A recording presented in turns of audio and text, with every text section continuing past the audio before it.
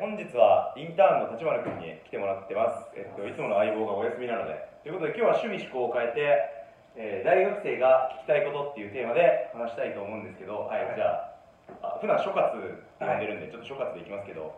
じゃあ諸葛的に聞きたいこと。はいやなんか僕は結構就活自分で悩むことが多くて、うんまあ、そういうのもなんかちょっとやりたいことみたいなの言われるじゃないですか。うん。でなんか一番最初に僕はなんかやりたいことないって言われてやべえ俺ねって気づいた時に結構焦ってたんですよね。就活？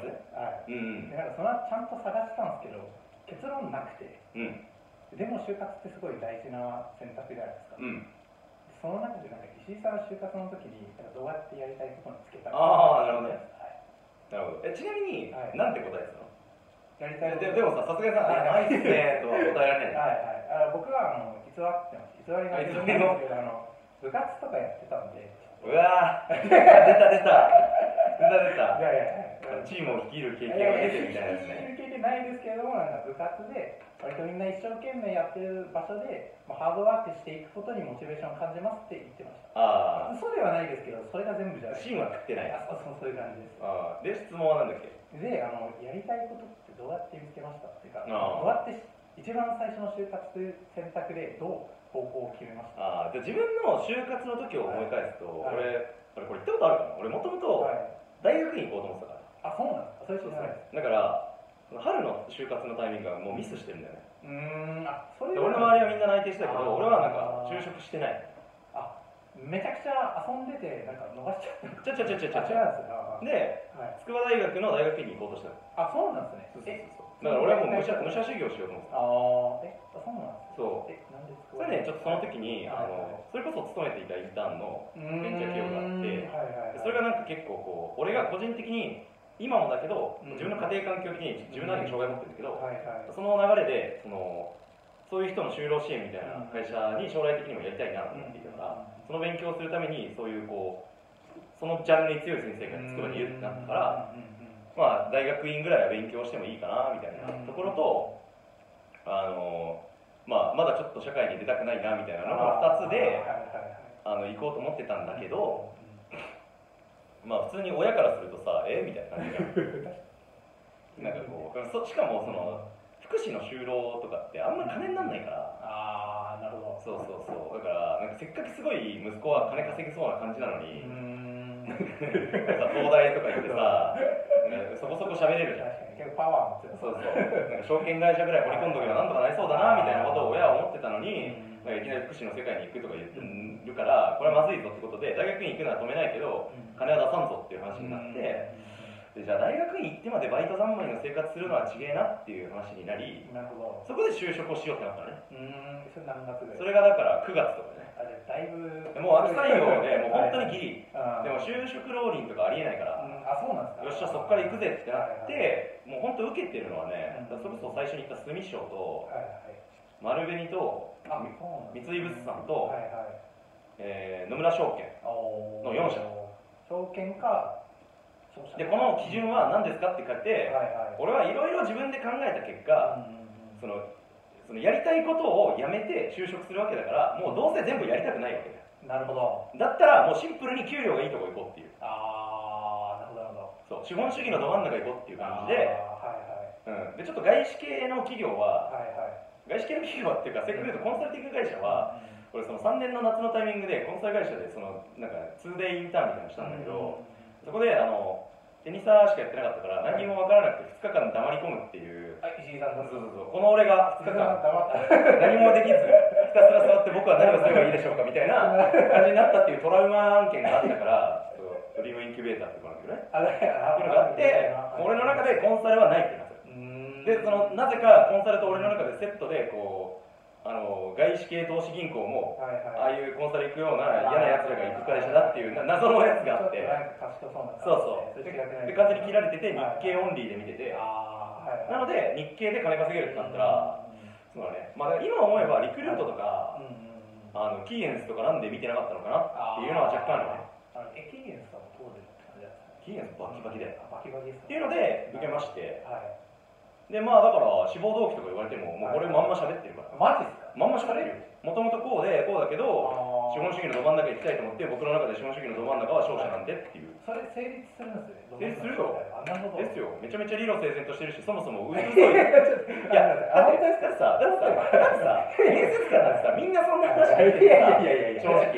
そんな中でさ俺さもともと福祉にあったけどマジでどうせ興味ない業界行くんだったら一番金稼げるとこ行ってバシバシ稼ごうと思ったっていうエピソードね説得力あるの音声興味ないは大丈夫いや音声興味ないは言ってない。ああだからどうせ興味ない業界に行くんだからどこ行っても。あーなるほだったら一番金稼げるところで金稼ぎたいと思いましたっていう話でね。どなるほどです。わかりましで、たはい。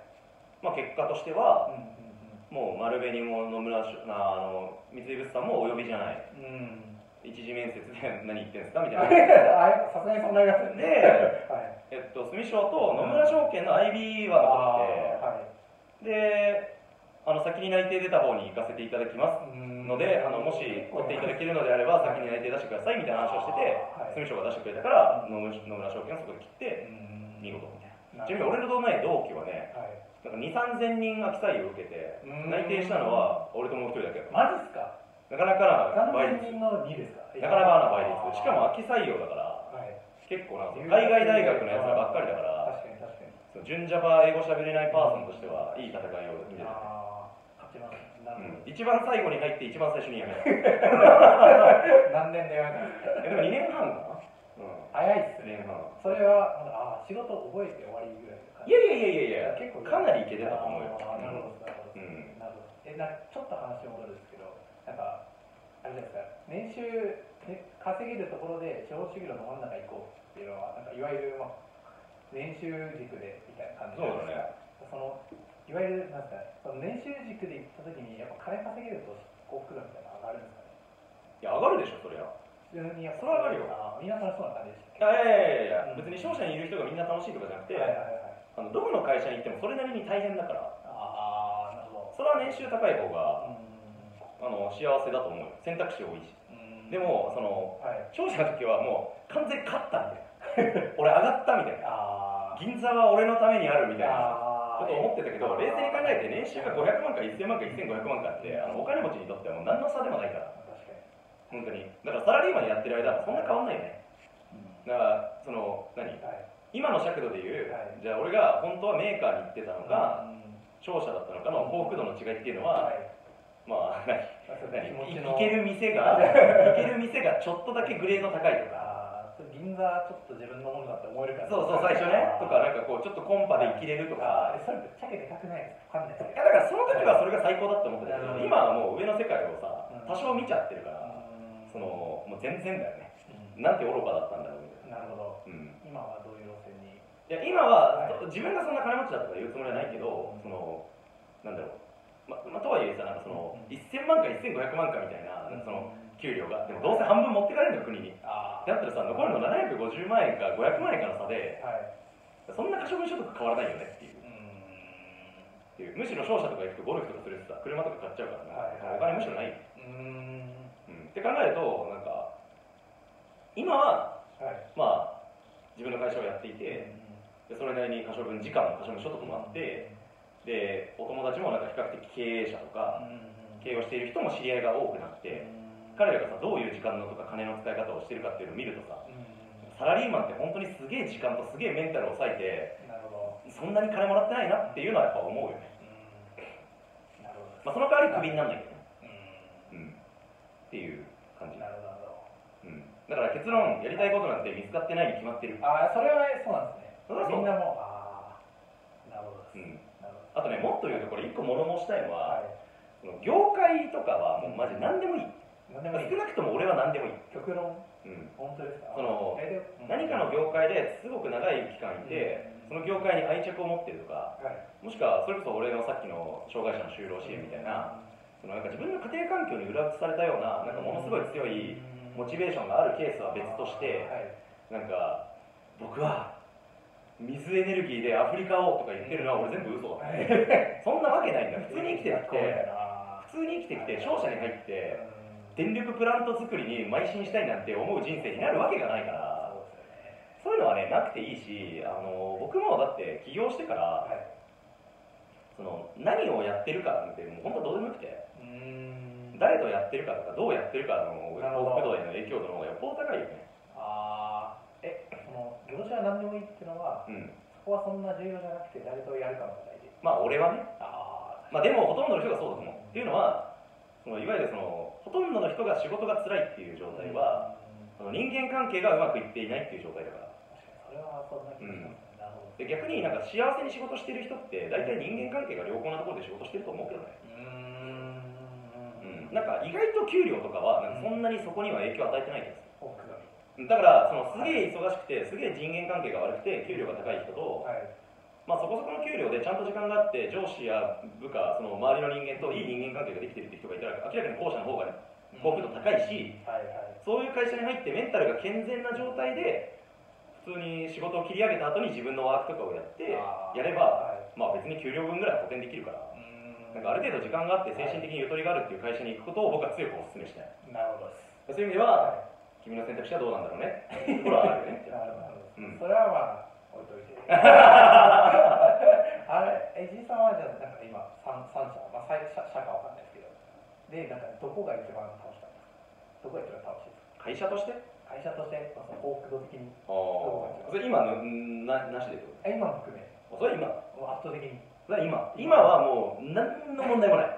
今何の問題もない。何の問題もない。人間関係になってるってことです。もう月曜日朝起きてやるぞーってなってる。今まではどうです来たーってなってる、はい。今まではあーまあ月曜日やりますかぐらい。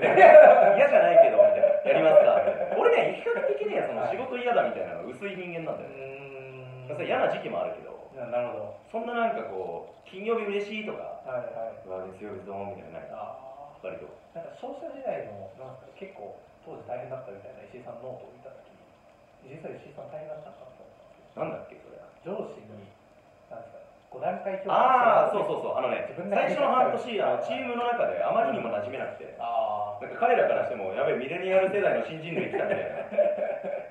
あ なるほどでなるほど、なんか勢いすごくて自信満々な割に敬語すら使えねえみたいなやべえみたいな感じになって干されてたんだけど 干されてたんだけどあのすごいこう腹割って喋ろうぜって言ってくれるすごい仲良くなった先輩がいらっしゃってその人からお前の5段階評価をつけたみたいな話になった時に、俺の自分の5段階評価と見せ合わせた時に、はい。シンプルにサイズが5倍ぐらい違うペンだと思って一とがあったそうってなってでそこからなんかこう毎日のようにそれこそ銀座に連れてってもらって。あマジですか？そう。早いっす何々さんと話す時はこういうとこ気をつけてこうやるんだぞみたいな。あだから俺は比較的そのノミニケーションみたいなものをなんかこう大事だと思ってるねみんなさなんかそんなもんない方がいいに決まってるみたいな言うけどいやノミニケーションなかったら仕事の仕方を覚えるの難しいでしょ。そのその才能ない人。ああなるほど。人間関係の才能がない僕らからすると難しいでしょそこは。うん。思うんで、はい。まあ、誘っていただいてる間は行くのがいいと思いますよ。はい。なんかね結局仕事だけできて仕事で成果出せて結果出せるっていう人ってそんないないから。もちろんそういう人いるけどいやそれはそうっすよほとんどの人ってなんか人間関係をぬるぬると上手にやることによって結果を出すわけですよ。なるほど。いろんな人の力をレバレッジして。なるほど。で自分じゃ圧倒的に成果出せなさそうって人は周りと人間関係そうだよ。やって本当にそうだよ。ぬるぬる生きていくのが成果諸葛は完全に俺が見てる限りではそっちでいや僕ちょっと悲しかったですよ。それに気づいた時に、うん。あ俺仕事ダメそうだったいや仕事がダメそうだとは全然思わない。はいはいじゃなくてはいそのどっちの方が成果上げられますか？お前は可愛いからその可愛さをはい前面に出してあのあのすみません、助けてください、美里さん路線で行った方が、俺がすげえやったんで、ついてきてくださいよっていうよりも、まあ、まずはいいよね。でそその人がそこから抜け出して今度はまあ頼られる側になるんだみたいなその脱皮みたいな。あで、はい。成果を出せば、周りから認められて、大きな仕事を振られるんだ。あで、大きな仕事を振られると、またそれをクリアするために、もっと高いレイヤーのお願い事とかをしなきゃいけないってなってって、やってるうちに、気づいて振り返ったら、すごい遠いところまで来たな、がほとんどの人がやってることだよ。実は俺できる人になってたかもそうそうそうそうそうそう、本当そう。なるほど。絶対そうだよ。じゃあなるほど。最初ああ気張って俺自分で仕事めっちゃやるあ、もう、もそうそういうね、もう、かかっちゃってる新人が一番痛い。あ 結構な人ぐさぐさマジで一番痛い。そんなことじゃなくて。はい、はいあー極論言うと、まずはちゃんとこう目の前にいる先輩を納得させられるようにしようとか、なるほど。目の前の上司を納得させられるようにしようっていうところでちゃんとやっていくのがいい。なるほど。うん。目の前のすげえごめんサラリーマン出身的な発言になっててこう起業家っぽくないけどでも本当そうだい。やいやいやなるほど。で徐々に自分ができることがなんかこう増えてって。でしかもその増え方ってこう直線じゃないからえこの曲線だから。なるほど。いわゆるそのべき上の関数だから、ほど。うん、ある時を境にある時を境に一気に来るよね。それは信じ続ければこれはつまり何を言うかというと信用を蓄え続けろっていうね。なるほど。そう。結局そういうことだと思う。だから信用がないと仕事を振られない。仕事を振られないと一生成長できない。つまりねなんかねこう世の中にはさなんかなんかねこう人が人を成長させるシーンはあるんだよ。はい。なんかあの上司の下だったら成長できるとかはいはい。この会社には私を成長させられる人はいるのだろうかとかうん。優秀な上司の下じゃないと成長できないとか。それは正直言ってちょっと思うところあります。俺完全にこれ嘘だと思ってて。あの人は人を育てられない。だって俺絶対人によって育てられたと思わない。それは人ではなく仕事によって成長するんだよ。ああなるほど。うん。役割によって成長する、ああなるほど。うん、うんだから大きな役割を与えられるような信頼を獲得できるかどうかだけだと思う。だって無理だよ。諸葛に何を教えたって自分ごとにならない限り無理だよ、うん。だってそんなんで成長できるんだったらさはい。もう別に過去の偉人たちがいくらでも本書いてるんだからさそれから学べばいいじゃん。そんな目の前の上司なんかよりよっぽど優秀なんだそうですね。確かに。そうだよ。ああそれ読んでも圧倒的に成長できないってことは。そうだよ。ピーター・ドラッカーは俺よりだいぶ優秀だから そんな俺からなんかぐちぐち言われるよりドラッカー読んだ方がいい確かになるほど自分が成長するのにいい仕事するしかなくて。そう。なるほど。だからその上司とか先輩が整えられることっていうのはそいつが気持ちよくその仕事にタックルできるような環境を整えることしかない、これはなんかあの DNA の南波さん。これめっちゃ好きなんだけど。あそうなんですね。そうだってベイスターズを立て直してくれた人 でなので横浜めっちゃ好きなんだけど南波さんが本で言ってたしうん。そのそのその通りだなって思う。うだからおこがましい人が人を育てるとかいうの。んなるほど。俺が育てたる的なついてこいや的なああやましい俺思ったことない。なるほどうん。ぱっと見そっち系に見えないことですけどねえそんなことないよ本当ですか？でも結構放任じゃない？あ放任です放任結構放任放任でやってダメだったらもうはいお疲れ様でしたって感じでしょ？うん結構そうですね。お疲れ様です。そうですね。あもう今回はじゃあいいや。であの巻き取られた時のショック感あります。ねもね本当それしかない。あそこでしかもなんかこうぐちぐちなんかこれはどうだった？どうだった？ああだったって怒るのも違うと思うああいいやでも言ってもらわないと分かんないみたいなとわかんない。あー正直。つらああ恥さらしました。よそうか。俺が怒られるの好きじゃないからな。わかんないな。なんかちょっと正直いやもう。終わったこと怒ってもしょうがないじゃんあう、うん、ーやっぱそうですね。やっぱ怒られたい。人の言葉はなんかききっかけだったりします。あやっぱりそうだったかみたいな。なるほどね最初ちょっと反発するんですけど何日か噛み締めると確かになって次進めるみたいなのある人がいるかも。まあね。そういう意味ではあれかもしれないわ、こう自立自尊で。はい。なんか別に能力のた高い低いではなくて、まあ自分で気づいてやっていけるみたいな人とはい。や,、やりたいっていうことなのかもしれないね。なるほど。もしかしたら。わかんないなるほど。自分はそういうタイプなんで、はいはいはい。なるほど。それは申し訳ないですいやいや、うまくうまくやってるじゃないか。よかった、上手にやってる。なるほどですうんもう一個ぐらい行こもう一個ぐらいうか。もう一個ぐうん。もうらい電車来てる。もう一個ちょっと一旦今日はちょっと言っていいですかじゃあ、これぐらいで。ありがとうございます、はいお疲れ様でした。ありがとうございます